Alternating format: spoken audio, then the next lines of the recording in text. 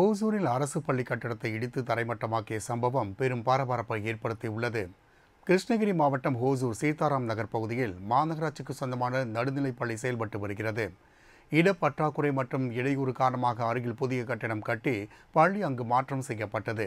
இந்த பள்ளியில் கல்வி உபகரணங்கள் வைக்கப்பட்டுள்ள நிலையில் அவ்வப்போது மாணவர்களுக்கு பாடம் நடத்தப்பட்டு வந்தது. இந்நிலையில் வெங்கடேசன் என்பவர் பள்ளி கட்டிடத்தை ஜேசிபி இயந்திரம் கொண்டு இடித்து தரைமட்டமாக்கிய சம்பவம் பெரும் பரபரப்பை ஏற்படுத்தியுள்ளது. இதனை அறிந்து அதிர்ச்சியடைந்த அப்பகுதி மக்கள் மற்றும் ஆசிரியர்கள் வெங்கடேசனுடன் வாக்குவாதத்தில் ஈடுபட்டனர்.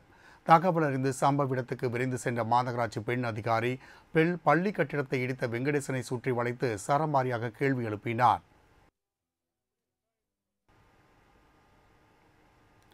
ஆப்கான் நிலவரம் தொடர்பாக பாதுகாப்பு அமைச்சரவை குழுவுடன் பிரதமர் நரேந்திர மோடி டெல்லியில் ஆலோசனை நடத்தினார். ஆப்கானிஸ்தானை தாலிபான்கள் கைப்பற்றி ஆட்சி நடத்தி வரும் நிலையில் அங்குள்ள இந்தியர்களை பத்து பாதுகாப்பது மீட்பது குறித்து மத்திய பாதுகாப்பு அமைச்சரவை குழுவினரும் பிரதமர் நரேந்திர மோடி ஆலோசனை மேற்கொண்டார். பிரதமர் மோடியின் இல்லத்தில் நடைபெற்ற இந்த ஆலோசனை கூட்டத்தில் மத்திய உள்துறை அமைச்சர் அமித்ஷா பாதுகாப்புத்துறை அமைச்சர் ராஜ்நாத் சிங் மத்திய நிதியமைச்சர் நிர்மலா சீதாராமன் பாதுகாப்பு மற்றும் உள்துறை அமைச்சகத்தின் செயலாளர்கள் உள்ளிட்டோர் பங்கேற்றனர். சமீபத்தில் ஆப்கானிஸ்தானை சால் தாலிபான்கள் கைப்பற்றியுள்ள நிலையில் இந்திய மேற்கத்திய எல்லைகளில் எடுக்க வேண்டிய நடவடிக்கைகள் குறித்து ஆலோசனை செய்யப்பட்டதாக தகவல் வெளியாகியுள்ளது. மேலும் தாலிபான் ஆட்சிக்கு சீனா உள்ளிட்ட பல நாடுகள் ஆதரவு தெரிவித்துள்ள நிலையில் இந்தியாவின் நிலைப்பாடு தொடர்பாகவும் இக்கூட்டத்தில் ஆலோசித்திருக்கலாம் என கூறப்படுகின்றது. இந்த அவசர ஆலோசனை கூட்டத்தின் போது ஆப்கானிஸ்தான் உள்ள இந்தியர்களை அழைத்து வர எடுக்கப்பட வேண்டிய நடவடிக்கைகள் குறித்தும் ஆலோசிக்கப்பட்டதாக தகவல்கள் வெளியாகியுள்ளன.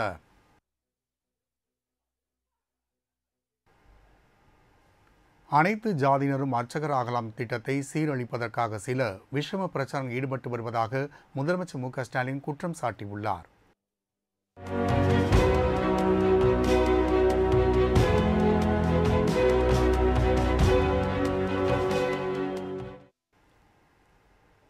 சட்டப்பேரவையில் பேசிய முதலமைச்சர் மு ஸ்டாலின் அனைத்து ஜாதியினரும் அர்ச்சகர் ஆகலாம் திட்டம் குறித்து விளக்கம் அளித்தார் பெரியாரின் நெஞ்சில் தைத்த முல்லை எடுத்திட வேண்டும் என்ற நோக்கத்திலேயே அனைத்து ஜாதியினரும் அர்ச்சகர் ஆகலாம் என்ற திட்டத்தை கொண்டு வந்ததுள்ளாக பெருமிதம் தெரிவித்தார். ஆனால் அதனை பொறுத்துக்கொள்ள முடியாத சிலர் இந்த திட்டத்தை சீரழிப்பதற்காக சமூக வலைதளங்களில் அவதூறு பரப்பி வருவதாக குற்றம் சாட்டினார். முல்லை வேண்டும் தலைவர் கலைஞர் அவர்கள் நம்மை ஆளாக்கிய நம்முடைய ஈரோட்டு சங்கம் பகுத்துரை புகழ்வன் தந்தை பெரியார் அவர்களுடைய நெஞ்சிலே தைத்த முள் அந்த முல்லை எடுத்திட வேண்டும் என்பதற்காக தலைவர் கலைஞர் அவர்கள் இந்த அனைத்து ஜாதியினரும் அர்ச்சகராகலாம் என்ற சட்டத்தை கொண்டு வந்து நிறைவேற்றியிருந்தார்கள். ஆனால் அது நடைமுறைக்கு வடமுறையாத நிலையில் ஒரு சூழ்நிலை ஏற்பட்டது. ஆனால் இப்பொழுது அதை நடைமுறைக்கு நாம் கொண்டு வந்திருக்கிறோம். பணி ஆணையை இங்கே வழங்கி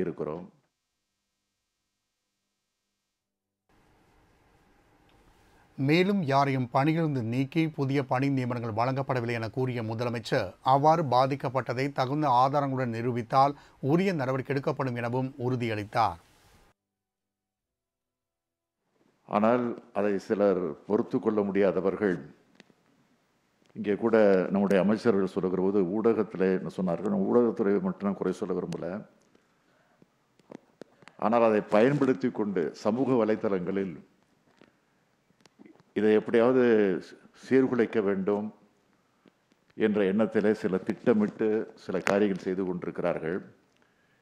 யாரையும் எந்த பணியிலிருந்து விடுவித்து இந்த பணி நியமன ஆணை வழங்கப்படவில்லை. அப்படி எங்கேயாவது வழங்கப்பட்டிருந்தால் அவர்கள் ஆதாரத்தோடு சொல்வார்கள் என்று சொன்னால் அதற்குரிய நடவடிக்கை இந்த அரசு நிச்சயமாக எடுக்கும். அதில் எந்த சந்தேகமும் பட வேண்டிய அவசியம் இல்லை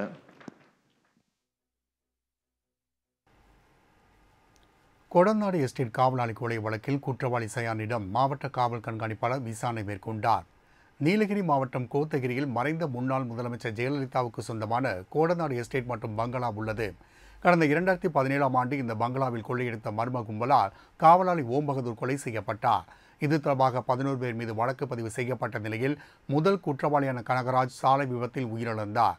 இதனையடுத்து சயான் வாளையார் மனோஜ் மனோஜ் சாமி திபு ஜித்தின் ராய் உதயகுமார் சந்தோஷ் சாமி சதீஷன் சம்சீர் அலி ஆகியோரை கோத்தகிரி போலீசார் கைது செய்தனர். இவ்வழக்கில் கைது செய்யப்பட்ட அனைவரும் தற்போது ஜாமீனில் வெளிவந்த நிலையில் கடந்த பதிமூன்றாம் தேதி நீதிமன்றத்தில் ஆஜரான சயான் இன்று உதகை குற்றப்பிரிவு காவல் நிலையத்தில் ஆஜரானார். அவரிடம் மாவட்ட காவல் கண்காணிப்பாளர் விசாரணை மேற்கொண்டார்.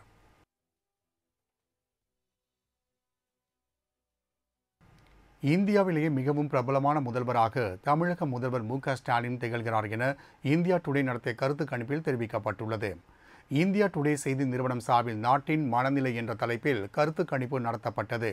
மாநில அளவிலான சிறந்த முதல்வர்கள் தரவரிசையில் நாட்டின் மிகவும் பிரபலமான முதல்வராக திமுக தலைவரும் தமிழக முதல்வருமான மு க ஸ்டாலின் நாற்பத்தி இரண்டு சதவீத வாக்குகளுடன் முதலிடம் பிடித்துள்ளார். கடந்த நூறு நாட்களில் கொரோனாவை கையாண்ட விதம் மரணத்தை குறைத்தது மக்களுக்கான நலத்திட்ட உதவிகள் அதே சமயம் நிதி சுமையை சீரமைக்க எடுத்துக்கொண்ட முயற்சிகள் என அனைத்து தரப்பினரிடமும் ஆதரவு பெருகியுள்ளதாக கருத்து கணிப்பில் கூறப்பட்டுள்ளது. மேலும் இரண்டாவது இடத்தில் ஒடிசா முதல்வர் நவீன் பட்நாயக்கும் கேரள முதல்வர் பினராயி விஜயன் மூன்றாவது இடத்தையும் பிடித்துள்ளனர். அதே நேரத்தில் பிரதமர் மோடியின் செல்வாக்கு கடந்த ஓராண்டில் நாற்பத்தி இரண்டு விழுக்காடு சரிந்துள்ளது. கடந்த ஆண்டு அறுபத்தாறு சதவீதம் பேர் நாட்டின் அடுத்த பிரதமராக பிரதமர் மோடி வர வேண்டும் என தெரிவித்த நிலையில் இந்த ஆண்டு இருபத்து நான்கு சதவீதம் பேர் மட்டுமே மோடிக்கு ஆதரவு தெரிவித்துள்ளதாக இந்தியா டுடே நிறுவன கருத்து கணிப்பில் தெரிவிக்கப்பட்டுள்ளது. கிட்டத்தட்ட நாற்பத்தி இரண்டு சதவீதம் அளவிற்கு மோடிக்கு ஆதரவு விகிதம் சரிந்துள்ளது குறிப்பிடத்தக்கது. கொரோனாவை கையாண்ட விதம் மற்றும் பொருளாதார பிரச்சனையில் கோட்டை விட்டதே மோடியின் செல்வாக்கு சரிந்ததற்கு காரணம் என கூறப்பட்டுள்ளது. மதுரை எய்ம்ஸ் மருத்துவமனையின் கட்டுமான பணிகள் முப்பத்தாறு மாதம் நிறைவடையும் என நம்புவதாக உயர்நீதிமன்ற மதுரை கிளை நீதிபதிகள் தெரிவித்துள்ளனர். மதுரை கிளையில் ரமேஷ் என்பவர் தாக்கல் செய்த பொதுநல மனுவில் தமிழ்நாட்டில் எய்ம்ஸ் மருத்துவமனை அமைக்கப்படும் என மத்திய அரசு கடந்த இரண்டாயிரத்தி பதினைந்தாம் ஆண்டு பிப்ரவரி இருபத்தி எட்டாம் தேதி அறிவித்ததாகவும் ஆனால் இரண்டாயிரத்தி பதினெட்டாம் ஆண்டு ஜூன் இருபத்தி எட்டாம் தேதிதான் எய்ம்ஸ் மருத்துவமனைக்கான அறிவிப்பே வெளியானது என்றும் மனுவில் குறிப்பிட்டிருந்தார். மதுரை மாவட்டம் தோப்பூர் பகுதியில் எய்ம்ஸ் மருத்துவமனை கட்ட இடம் தேர்வு செய்யப்பட்டதை சுட்டிக்காட்டிய மனுதாரர் தமிழகத்தோடு அறிவிக்கப்பட்ட பிற மாநிலங்களுக்கான எய்ம்ஸ் மருத்துவமனை கட்டுமான பணிகள் அனைத்தும் துவங்கப்பட்டுவிட்ட நிலையில் தமிழகத்தில் மட்டும் அதற்கான அறிகுறியே இல்லை எனவும் கூறியிருந்தார். எனவே எய்ம்ஸ் கட்டுமான பணிகளை விரைவில் துவங்க நடவடிக்கை எடுக்க உத்தரவிட வேண்டுமென மனுதாரர் தனது மனுவில் கோரிக்கை விடுத்திருந்தார். இந்த மனு மீதான விசாரணை தொடர்ந்து நடைபெற்று வந்த நிலையில் இன்று இது தொடர்பான உத்தரவை மதுரை கிளை நீதிபதிகள் வெளியிட்டனர். மதுரை எய்ம்ஸ் மருத்துவமனையின் கட்டுமான பணிகளை இன்னும் முப்பத்தாறு மாதங்களில் முழுமையாக நிறைவடையும் என நம்புவதாகவும் நீதிமன்ற உத்தரவுகளை எதிர்பார்க்காமல் கட்டுமான பணிகளை மத்திய அரசு முடித்துக் கொடுக்க வேண்டும் எனவும் நீதிபதிகள் அறிவுறுத்தியுள்ளனர். சிவசங்கர் பாபாவிற்கு ஜாமீன் வழங்கினால் விசாரணைக்கும் பாதிக்கப்பட்டவர்களுக்கும் பாதிப்பு ஏற்படலாம் என்பதால் ஜாமீன் மனுக்களை தள்ளுபடி செய்வதாக உத்தரவிட்ட நீதிபதிகள் தங்களின் உணர்வுகளுக்கு துரோகம் செய்யும் போலீஸ் சாமியாரிடம் இருந்து மக்கள் பாதுகாத்துக் கொள்ள வேண்டும் என அறிவுரை வழங்கியுள்ளனர். பாலியல் வன்செயல் புகாரில் கைது செய்யப்பட்டுள்ள சிவசங்கர் பாபாவின் சார்பில் நீதிமன்றத்தில் தாக்கல் செய்யப்பட்ட ஜாமீன் மனு விசாரணைக்கு வந்தது. இதனை விசாரித்த நீதிபதிகள் பாதிக்கப்பட்டவன் வாக்குமூலம் உள்ளிட்ட அனைத்து தரப்பு ஆவணங்களையும் ஆய்வு செய்ததில் சிவசங்கர் பாபாவிற்கு ஜாமீன் வழங்கினால் விசாரணைக்கோ பாதிக்கப்பட்டவர்களுக்கோ பாதிப்பு ஏற்படலாம் என்பதால் ஜாமீன் மனுக்கள் தள்ளுபடி செய்வதாக கூறினர். மக்களின் மனதிற்குள் இருக்கும் பிரச்சனைகளுக்கு தீர்வளிப்பதாகவும் ரட்சிப்பதாகவும் கூறும் போலி சாமியார்களும் மதகுருமார்களும் சமுதாயத்தில் காளான்களைப் போல் பெருகியுள்ளனர் என்றும் விரக்தியில் இருக்கும் மக்களின் மனப்பிரச்சனையை தீர்த்து வைப்பதாக கூறும் போலி சாமியார்கள் மற்றும் குருக்களின் கைகளிலேயே மக்கள் சிக்கிக் கொள்கிறனர் என்றும் நீதிபதிகள் ஆதங்கம் தெரிவித்தனர். இந்த சாமியார்கள் மீது பொதுமக்கள் கொண்டுள்ள நம்பகத்தன்மையை பயன்படுத்தி உச்சகட்ட அளவில் அவர்களை சுரண்டுகின்றனர் என்றும் பக்தி என்ற முகமூடியை பயன்படுத்தி மக்களின் நம்பிக்கைக்கு சாமியார்கள் துரோகம் செய்கின்றனர் என்றும் நீதிபதிகள் குற்றம் சாட்டினர். அனைத்து தரப்பட்ட வயதினரும் சாமியார்கள் மீதான குருட்டு நம்பிக்கையால் பாதிக்கப்படுவதாகவும் தங்களின் உணர்வுகளுக்கு துரோகம் செய்யும் போலி சாமியிடம் இருந்து மக்கள் பாதுகாத்துக் கொள்ள வேண்டும் என்றும் அறிவுரை வழங்கிய நீதிபதிகள் சாமியார்களை நம்பும் பக்தர்களின் பிரச்சனைகளுக்கு விடை கிடைக்கிறதோ இல்லையோ துரோகம் செய்யும் சாமியார்கள் மக்களை பயன்படுத்தி அதிக அளவிலான சொத்துக்களையும் அதிகாரத்தையும் செல்வாக்கையும் சம்பாத்தி விடுகின்றனர் என்றும் கூறினர். சென்னை கோட்டூர்புரம் காவல் நிலையத்தில் வழக்கறிஞர்கள் மோதிக்கொண்ட சம்பவம் பரபரப்பை ஏற்படுத்தியுள்ளது. சென்னை கோட்டூர்புரம் காவல் நிலையத்திற்கு இடப்பிரச்சனை தொடர்பாக புகார் அளிக்க இருதரப்பு வழக்கறிஞர் வந்துள்ளனர். அப்போது இருதரப்பினரும் வாக்குவாதத்தில் ஈடுபட்ட சிறிது நேரத்தில் வாக்குவாதம் ஊற்றி இருதரப்பினரும் ஒருவரை ஒருவர் கடுமையாக தாக்கிக் கொண்டனர். பின் அங்கிருந்த போலீசார் அவர்களை சமாதானப்படுத்தி விசாரணை மேற்கொண்டு வருகின்றனர். இந்நிலையில் இந்த மோதல் குறித்த சிசிடிவி காட்சி தற்போது வெளியாகியுள்ளது.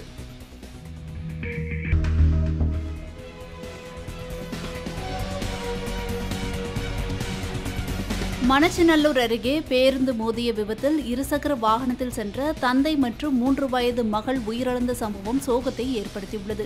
திருச்சி மாவட்டம் மணச்சநல்லூர் அடுத்த கீழ சிந்தாமணி பகுதியைச் சேர்ந்தவர் மணிகண்டன். இவர் மனைவி மலர் மற்றும் மகன் தர்ஷன் மற்றும் மகள் தர்ஷினி ஆகியோருடன் இருசக்கர வாகனத்தில் கரியமாணிக்கம் பகுதியில் உள்ள உறவினர் வீட்டிற்கு சென்றுள்ளனர். அப்போது கிளியநல்லூர் பகுதியில் எதிரே வந்த அரசு பேருந்து இருசக்கர வாகனத்தின் மீது மோதி விபத்துக்கு உள்ளானது. இதில் படுகாயமடைந்த நான்கு பேரும் சிகிச்சைக்காக மருத்துவமனையில் அனுமதிக்கப்பட்டனர். இதில் மணிகண்டன் மற்றும் அவருடைய மூன்று வயது மகள் தர்ஷினி இருவரும் சிகிச்சை பலனின்றி பரிதாபமாக உயிரிழந்தனர். இந்த சம்பவம் குறித்து வழக்கு பதிவு செய்த போலீசார் பேருந்து ஓட்டுநர் சங்கரை கைது செய்து விசாரணை மேற்கொண்டு வருகின்றனர்.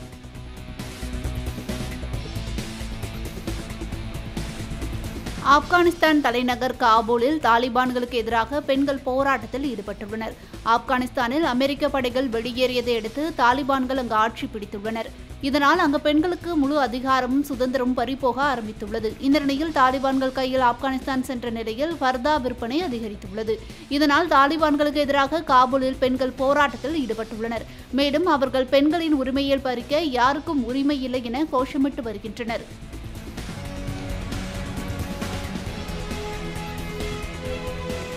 மதுரையில் புத்தகங்களோடு இதுவரை இல்லாத வெர்ச்சுவல் ரியாலிட்டி மல்டிமீடியா போன்ற வசதிகளும் உயர் நவீன தொழில்நுட்ப முறையில் நூலகம் அமைக்கப்பட உள்ளதாக நிதித்துறை அமைச்சர் பழனிவேல் தியாகராஜன் தெரிவித்துள்ளார்.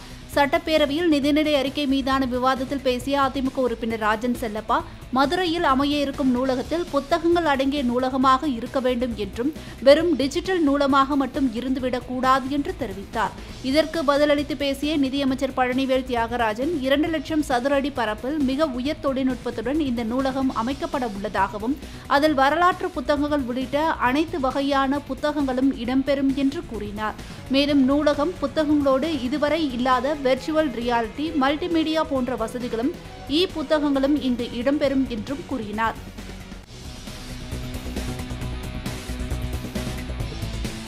காவிரி டெல்டா பகுதியில் ஹைட்ரோ கார்பன் திட்டங்களால் ஏற்பட்ட பாதிப்புகள் குறித்து ஆராய நிபுணர் குழுவை அமைத்து தமிழ்நாடு அரசு அரசாணை பிறப்பித்துள்ளது.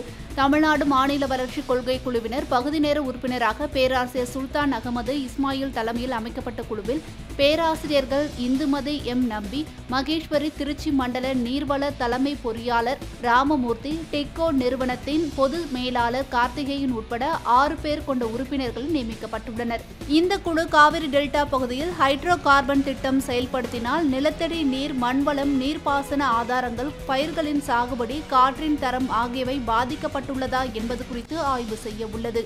மேலும் அந்த பகுதியில் வாழும் மக்களின் வாழ்வாதாரம் பாதிப்பு குறித்தும் ஆய்வு செய்து நான்கு மாதத்திற்குள் அறிக்கை தாக்கல் செய்யுமாறும் தமிழ்நாடு அரசு வெளியிட்டுள்ள அரசாணையில் குறிப்பிடப்பட்டுள்ளது.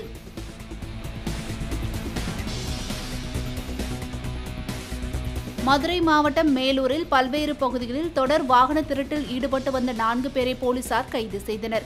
மேலூரில் திருட்டு மணல் கடத்தல் கஞ்சா விற்பனை உள்ளிட்ட குற்ற சம்பவங்களில் ஈடுபட்டுவோரை பிடிக்க போலீசார் தனிப்படைகளை அமைத்து தீவிர கண்காணிப்பில் ஈடுபட்டு வருகின்றனர். இந்த நிலையில் இன்று மேலூர் அரசு கலைக்கல்லூரி பகுதியில் இருசக்கர வாகனத்தில் சந்தேகத்திற்கு இடமாக வந்த அக்கினி பால்பாண்டி ஹரீஷ் சரவணன் ஆகியோரை விசாரணை மேற்கொண்டதில் அவர்கள் கோவை திருப்பத்தூர் தெற்கு தெரு ஒத்தக்கடை மேலூர் உள்ளிட்ட பகுதிகளில் இருசக்கர வாகன திருட்டில் ஈடுபட்டது தெரிய வந்தது. மேலும் அவர்களிடமிருந்து பத்து இருசக்கர வாகனங்களை பறிமுதல் செய்த போலீசார் அவர்கள் நான்கு பேரையும் கைது செய்து விசாரணை மேற்கொண்டு வருகின்றனர்.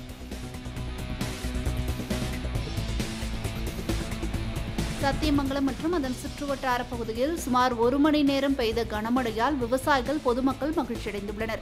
வெப்பச்சலனம் காரணமாக ஈரோடு மாவட்டம் சத்தியமங்கலம் மற்றும் அதன் சுற்றுவட்டார பகுதியில் சுமார் ஒரு மணி நேரம் பலத்த காற்றுடன் கனமழை பெய்தது. இதனால் அந்த பகுதியில் வெப்பம் தணிந்து குளிர்ச்சியான சூழல் நிலவியது. சாலைகளில் மழைநீர் தேங்கியதால் வாகன ஓட்டிகள் கடும் அவதியடைந்தனர் மேலும் திடீரென பெய்த மழையால் விவசாயிகள் மற்றும் பொதுமக்கள் மகிழ்ச்சியடைந்துள்ளனர்.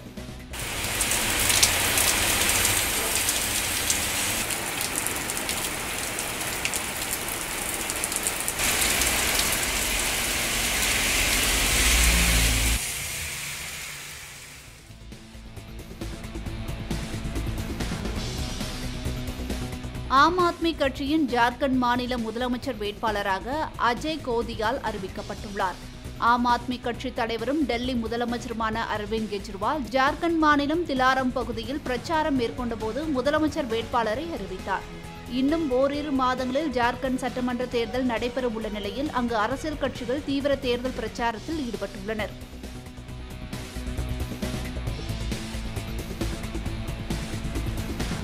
கொடைக்கானல் பகுதியில் பொதுமக்களுக்கு தொல்லை கொடுத்து வந்த குரங்குகளை வனத்துறை அதிகாரிகள் கூண்டு வைத்து பிடித்து வனப்பகுதியில் விடுவித்தனர்.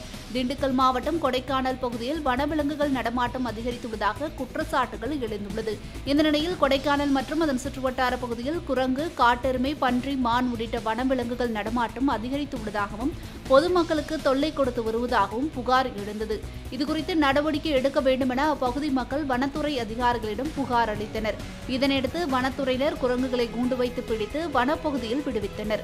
இதனால் அப்பகுதி மக்கள் மகிழ்ச்சியடைந்துள்ளனர்.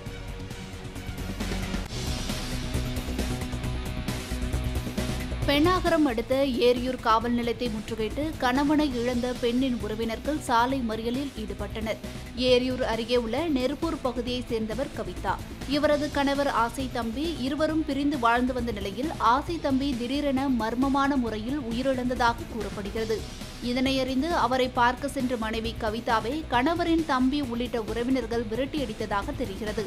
சொத்துக்காக டாக்டர் கிருஷ்ணன் தனது கணவரை கொலை செய்திருக்கலாம் என கவிதா சந்தேகம் தெரிவித்துள்ளார். கணவர் உயிரிழப்புக்கு காரணமானவர்கள் மீது நடவடிக்கை எடுக்க வேண்டும் எனவும் கவிதா கண்ணீர் மல்க கூறியுள்ளார்.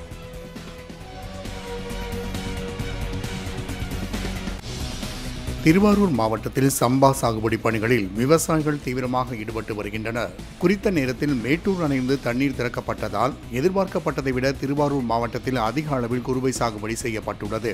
தற்போது விவசாயிகள் சம்பா சாகுபடி செய்வதற்காக தங்களது விளைநிலங்களை உழுது நடவு பணிகளை மேற்கொள்ள மும்முரமாக ஈடுபட்டு வருகின்றனர். இந்த ஆண்டு இரண்டு லட்சத்து பத்தாயிரம் ஏக்கரில் சம்பா சாகுபடியும் ஒரு லட்சத்து முப்பத்தி ஏழாயிரம் ஏக்கரில் தாளடி சாகுபடி செய்ய இலக்கு நிர்ணயிக்கப்பட்டுள்ளதாக வேளாண் துறை அதிகாரிகள் தெரிவித்துள்ளனர்.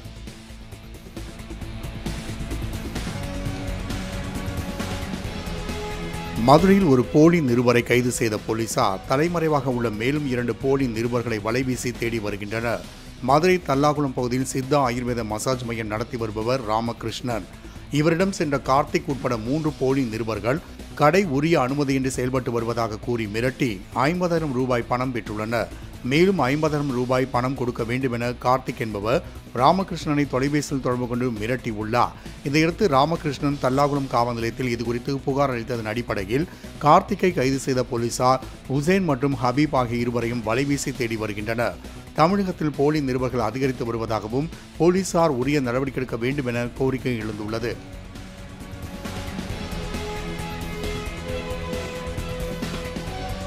சென்னையிலிருந்து தாய்லாந்திற்கு சரக்கு விமானத்தில் கடத்த இருந்த இருபத்தைந்து லட்சம் ரூபாய் மதிப்புடைய நட்சத்திர ஆமைகளை சுங்கத்துறை அதிகாரிகள் பறிமுதல் செய்துள்ளனர். சென்னை விமான நிலையத்திலிருந்து தாய்லாந்திற்கு அனுப்புவதற்காக பதினைந்து பெட்டிகள் வந்திருந்தன. அதனுள் கடல் நண்டுகள் இருப்பதாக குறிப்பிடப்பட்டிருந்தது. இதில் சந்தேகத்திற்கு இடமாக இருந்த பெட்டிகளை திறந்து சோதனை மேற்கொள்ளப்பட்டது. அதில் இருபத்தைந்து லட்சம் ரூபாய் மதிப்புடைய இரண்டாயிரத்தி ஐநூறு நட்சத்திர ஆமைகள் கடத்த இருந்தது தெரிய வந்தது இதனையடுத்து அவற்றை பறிமுதல் செய்து வழக்கு பதிவு செய்து விசாரணை மேற்கொண்டு வருகின்றனர்.